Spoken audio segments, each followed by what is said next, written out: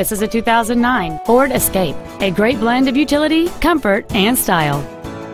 The solid six-cylinder engine, connected to a six-speed automatic transmission, is perfect for commuting or cruising.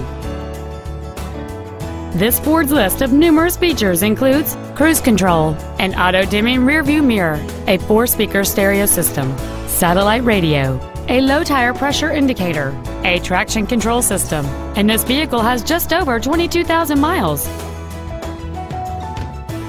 Contact us today and schedule your opportunity to see this crossover in person.